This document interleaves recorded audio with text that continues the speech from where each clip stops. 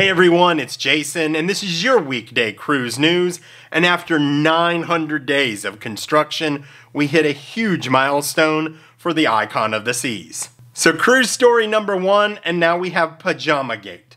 So, someone wrote into John Heald, the brand ambassador for Carnival Cruise Lines, and they mentioned that uh, over 150 people were planning to wear pajamas to the main dining room for breakfast on this holiday. Now, they were disgusted by this, and John Heald was actually at a loss for words, which is not something you often see. He really didn't have an answer. So he did a poll, and the poll said basically, you know, we don't care.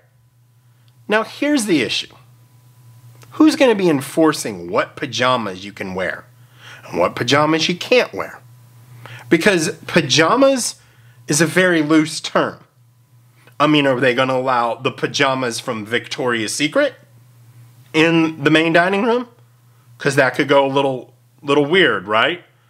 Or what is it going to be allowed and not allowed?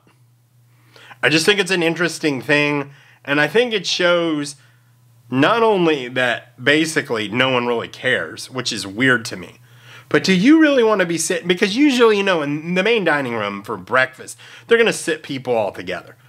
I don't want to be sitting next to someone in their pajamas. I mean, if that's really what you wanted to do, you need to go rent a house or do something private, in my opinion. Maybe Gatlinburg, sit by the fire and have your little pajamas and have your, you know, little bit of uh, maybe some hot chocolate in the morning. No one wants to see you in pajamas. Seriously? And I think what people are like, hey, I don't mind it for this one time.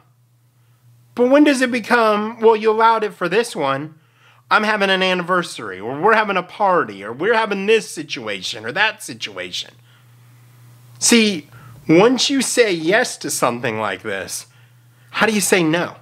Oh, we only allow it this time. Well, why? I don't. What if people go, I don't celebrate that, but I celebrate this? It's a slippery slope. I think it's ridiculous. I don't want to see you in your pajamas in the main dining room. I don't want to see you in your pajamas in the buffet. That's why you get room service. So you can sit in your pajamas and sit out on the balcony, put your feet up, and enjoy the ocean go by. And stay in your pajamas there. No one wants to see it. Just like they don't want to see you in a bathing suit and, you know, you're all hanging out, whether guy or girl, walking through the buffet. Put a shirt on, put a cover up on. No one wants to see that. That's just my thoughts. What do you guys think? Pajamas or no pajamas?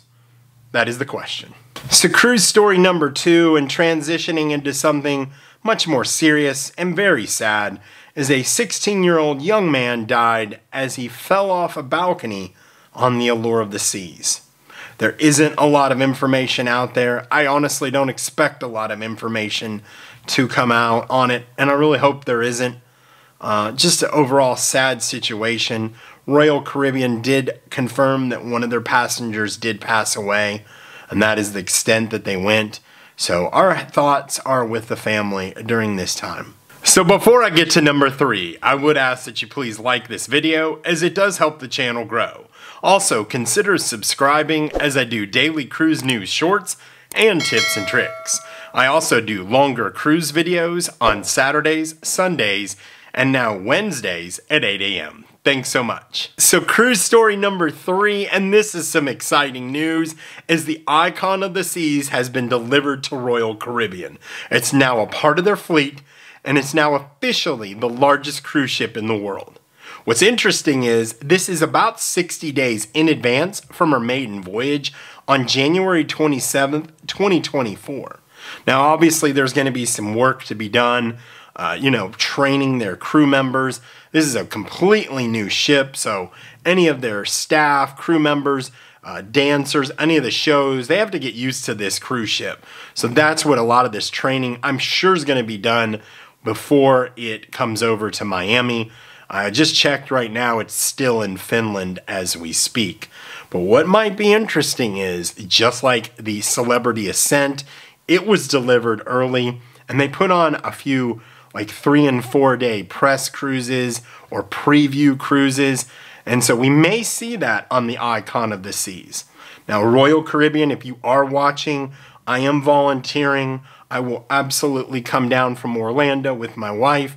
We'll do a walkthrough video and give our first impressions. So, just a volunteering there, shameless plug. So, anyway, we are though looking forward to cruising on the Icon of the Seas later on next year. Can't wait to see it.